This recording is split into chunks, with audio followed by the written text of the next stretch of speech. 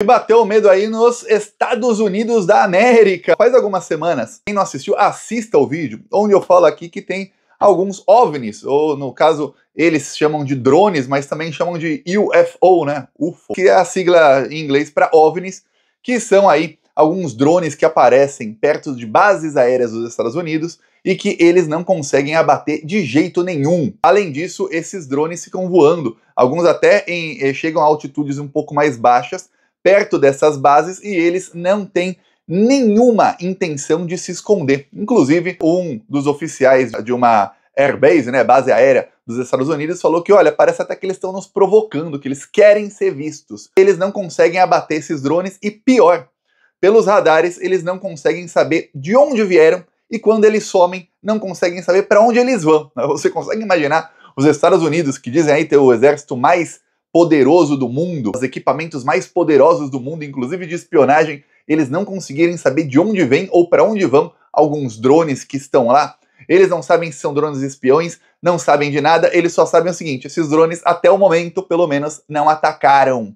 É, é, eu vou mostrar aqui é, mais detalhes sobre um projeto que eles têm, porque é, alguns desses drones estão aparecendo em várias bases aéreas, eles chegam muito perto de onde os Estados Unidos têm seus caças mais caros. E ali eles têm medo, né? Vai que esses drones têm bombas ou soltam bombas aí e explodem os caças americanos. Então, a maneira que eles vão tentar usar aí para pegar esses drones, eu até falei no outro vídeo, é com uma rede, igual caçar borboleta, com uma redinha. E aí, numa cidade perto de uma base aérea que fica em Indiana, Indiana é um estado americano, algumas pessoas conseguiram filmar alguns desses OVNIs. E aí no vídeo dá até para ver algumas crianças falando: Olha, pai, consigo ver e tal. E, e uma mulher lá falando: Olha, olha isso. A, a filmagem é, é, é, incrível, né? Todo mundo que filma um OVNI parece que a pessoa tem essa câmera aqui super potente para filmar OVNI, mas ela vê um OVNI e fala: Não, vou pegar a pior câmera que eu tenho aqui para filmar. Deixa, deixa eu pegar a câmera dos anos 80 aqui. No caso, era à noite, e a gente sabe que à noite filmar o céu realmente, até você pega um celular bom aí, você vai tirar uma foto da lua, faz assim, sai desse tamanho assim, né? É, então, a gente, a gente sabe, dá até para ver bem. Eu vou mostrar aqui já já o vídeo. O exército americano, lá de Indiana, falou que, olha, isso provavelmente é algum teste militar, viu? Provavelmente, não, não, não liguem para isso não, viu? É engraçado, sempre que tem alguma coisa assim que pode ser contra a segurança nacional dos Estados Unidos, eles tentam minimizar. O problema é o seguinte, é que já estava saindo notícia de que tinham aí esses OVNIs, ou eles dizem drones, né? Porque vai para lá, vai para cá, faz assim. Quem antigamente, antes de existir drone, todo mundo falava, é alienígena. Hoje a gente fala, pô, talvez não seja alienígena, talvez seja aí uma tecnologia de algum outro país que tem uma tecnologia melhor que os Estados Unidos estejam lá realmente provocando, assim, esfregando na cara deles, ó, como eu sou bom e vocês não. Será que é? Comenta aí a sua, a sua teoria, a sua opinião. O fato é que eles sempre tentam minimizar e falar como se não fosse nada. Só que depois eles falarem que, ah, não, isso deve ser algum teste militar, apareceu aí, é, aparecer, apareceram alguns meteorólogos, meteorólogos, é, mostrando o seguinte: tem um radar meteorológico nessa cidade que ele mostrou, olha, tem uma coisa que não é comum em radares meteorológicos. Para quem não sabe, um radar meteorológico, ele age o que? Ele, ele envia ondas, e aí essas ondas vão e voltam. E quando elas voltam, é, é, elas vão e param né, em algum lugar.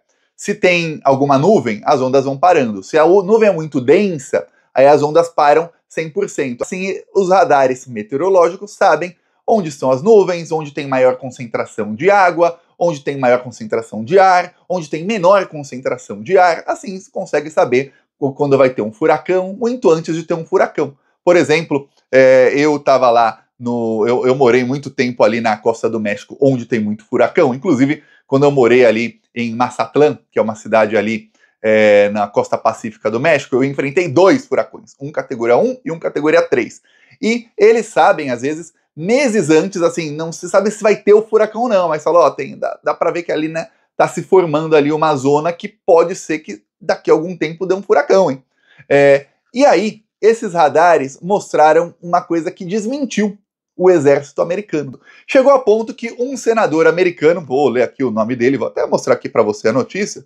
Um senador americano, é, é o senhor senador Moran, Jerry Moran, republicano do Kansas, ele é, fez um projeto de lei aí para que o, a aeronáutica americana ou o exército americano eles tenham permissão total, sendo tripulados ou não, esses drones aí, para matar, para abater, para matar. O problema é o seguinte: eles já tentaram. Quando se sobrevoa qualquer coisa que sobrevoa uma base aérea americana, ali é um local do exército. Ali eles vão, sim ou sim, atacar. E eles não conseguem acertar. Esse é o problema. São indestrutíveis esses OVNIs aí que estão aparecendo nessas bases aéreas. É, nenhum governo do mundo assumiu aí a autoria dizendo, oh, fomos nós. Então fica naquela, pô, será que foi alguém? Será que não foi? E tudo mais. Aí o senador é, Jerry Moran diz o seguinte: olha, é, os militares têm uma falta de autoridade para agir até que tenha algum risco real. Então eu vou aqui colocar um, fazer esse projeto de lei para que eles tenham autoridade para agir antes de ter algum risco real. Risco real é quando o OVNI ali, o drone, enfim, o que quer que seja, já está sobrevoando. E no caso pode usar a palavra OVNI, porque é um objeto voador não identificado. Se você não sabe de onde veio o, o, o drone, ou mesmo se é um drone, então é um OVNI. É, muitos dos OVNIs são um balão, são uma coisa assim. Muitos aí tem gente que diz que é alienígena. Não sabemos, nesse caso aí. Aí o que acontece? Quando esse OVNI está em cima da base aérea, eles já têm autoridade para é, tentar abater. Então ele quer aí um projeto de lei para tentar abater antes, bem antes de chegar perto. É, então, tá vendo lá, no caso aí, o vídeo que eu vou te mostrar é, foi a 13 milhas da base aérea americana. 13 milhas de distância. E aí, é, você vai ver aqui, vamos lá, vou mostrar aqui. Essas duas luzes.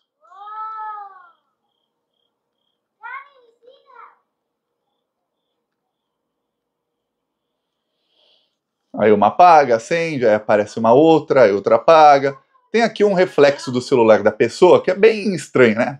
Essas duas luzes aqui de reflexo não são aí OVNIs, não, são aquelas duas ali. Aí tem uma criança ali falando, a mulher falando e tudo mais. Tem alguns outros vídeos que outras pessoas também gravaram em outros locais próximos daí. Nesse caso já bem mais um vídeo bem pior aí de qualidade, você fica assim, caramba, mas essa foi a melhor câmera que você arranjou. Tá, vamos você pensar que a pessoa às vezes tira uma foto da lua e a foto fica ruim, você pensa que é um negócio longe pra caramba, tá aí o, o vídeo que a pessoa gravou, né? Você fica, pô, vai, vai acreditar no vídeo, sim ou não? Será que a gente acredita aí nesses vídeos e tudo mais? Pois bem, um militar aí da base aérea de Indiana falou: não, isso deve ser só um teste militar, isso não é nada demais, não, pô. Né? Esqueçam o assunto. Porém, o que acontece é o seguinte: tem radares lá. No caso, isso é um radar meteorológico. O radar meteorológico funciona assim. Ó. Quando tem alguma coisa aqui, ele vê até aqui. Se tiver alguma coisa mais para lá, ele, ele já não vê tão bem, mas ele vê até aqui. E aí, o especialista que cuida lá do radar em nessa cidade, a cidade de Kokomo, Indiana, falou: olha, aconteceu um fenômeno aqui nessa noite que eu nunca vi. E eu trabalho com isso há décadas. E aí ele fala aqui no Daily Mail, que é um dos maiores jornais aí, ó. Tá.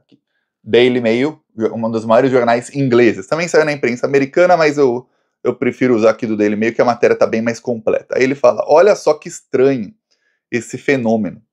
É como se tivesse uma nuvem retangular, exatamente aqui perto de onde as pessoas viram aquilo lá. Aí eu vou te mostrar uma imagem normal de um desses radares para você entender a diferença aqui. Isso aqui é uma imagem normal num dia normal, num dia de céu azul. Só que é uma imagem normal num dia de chuva, tá vendo aqui? Verde chuva. Assim. Você vê, caramba, que coisa. Verde é porque ele detectou ali partículas ali de água, alguma coisa assim no ar. Aí você vê imagens normais de radar. Quando o radar aparece daquele jeito, aí eles falam, peraí, então isso não é, isso realmente não é comum. O, o, o radar ele detectar isso aqui não é nem um pouco comum. E aí diz ali o especialista do radar que nunca viu isso na sua vida. O fato é que já tem senador aí querendo projeto de lei para que eles possam tentar abater qualquer tipo de OVNI longe. Tem gente aí filmando coisas, tem a base aérea falando que não, não é nada demais. Tem o pessoal aí que cuida dos radares falando é sim alguma coisa demais, porque ó, eu nunca vi um negócio desse. É, os seus aviões aí não fazem o, o radar ficar louco dessa maneira. Alguma coisa ou desajustou o radar só naquela noite de maneira que ficasse assim, ou alguma coisa deixou um rastro ali de alguma coisa no ar realmente num retângulo que nunca foi visto aí em décadas. E aí, obviamente, o governo americano não fala nada. O fato é que o que vazou faz algumas semanas é que eles não fazem ideia de como é, eles abaterem isso. A grande ideia que eles tiveram, e aí eu vou, eu vou te mostrar, é o seguinte: é, é uma rede protetiva para os caças F-22. Então eles vão fazer uma rede protetiva aqui em volta de onde tem os hangares dos melhores caças. E aí eu vou te ler aqui que são os F-22 Raptor. É, e aí o site The Warzone está dizendo o seguinte.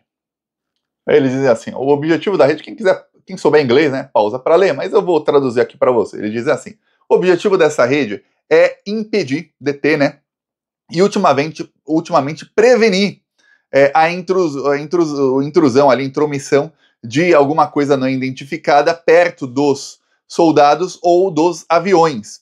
É, essa rede aí é, vai ser uma rede de metal e ela tem que ser é, a prova aí é, de algumas coisas. Aí eles falam o seguinte, é, que essa rede ela vai precisar ter é, ali segurar pesos de até 20 quilos e ela vai precisar ser ali até 1.200 pés de altura. 1.200 pés de altura são 1.200, 1.200 metros de altura são 300, 1.200 pés de altura são 365 metros, ou seja, ela vai poder captar drones ali ou qualquer objeto não identificado que esteja até essa altura e que tenha até 20 quilos, ou seja, um drone aí um pouquinho maior que isso, talvez a rede não consiga pegar. Peço aí a sua inscrição no canal, seguiremos aqui é, com mais informações em breve. Falou!